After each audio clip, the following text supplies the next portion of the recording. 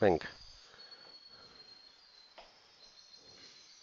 S más 4 todo elevado a 2. ¿Cómo?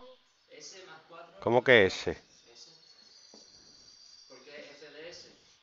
Vale, venga. Eh, partido S más 3. ¿Esa es? ¿Ya está? Buah.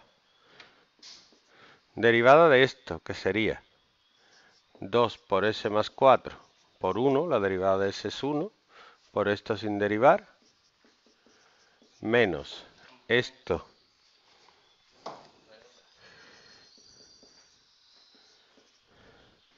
por la derivada de esto, que es 1, partido esto al cuadrado.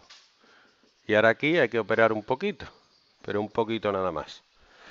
Sería s por s, s al cuadrado, más 3s, más 4 por s, más 12, menos s más 4 al cuadrado sería cuadrado del primero, más cuadrado del segundo, más el doble del primero por el segundo, sería 2 por 4, 8s.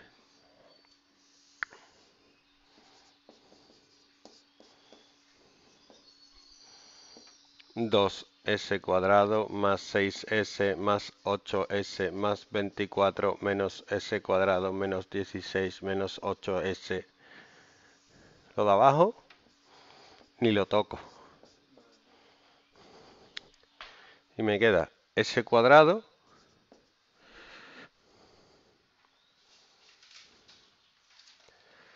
más 6s más 8.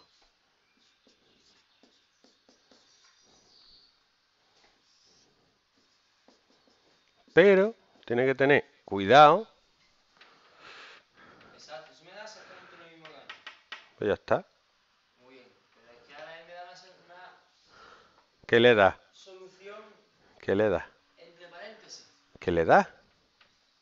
A él le da S más 2 por S más 4 Ujú. partido S más 3 al cuadrado. Claro, espérate. Mírame. S más 2 por S más 4 lo operas y te da eso. Pero Vale. ¿cómo te llevo de eso a S más 2? O puedo hacer Ruffini. O cuando es de segundo grado, te sale más económico hacer la ecuación de segundo grado. Menos 6 más menos raíz cuadrada. B cuadrado menos 4AC partido 2AC, ¿no? Menos 6. Esto es 20 32. Me da menos 6 más menos 2 partido 2. Menos 6 más 2 menos 4 entre 2. Menos 2. Menos entre 2 menos 4. Fíjate, estos dos números son menos 2 y menos 4. Esto quiere decir que ese polinomio es x más 2 por x más 4. ¿Vale? Son cosas que tiene que ir, apre- Me ha hecho bien, Claro. tiene que ir aprendiendo sobre la marcha.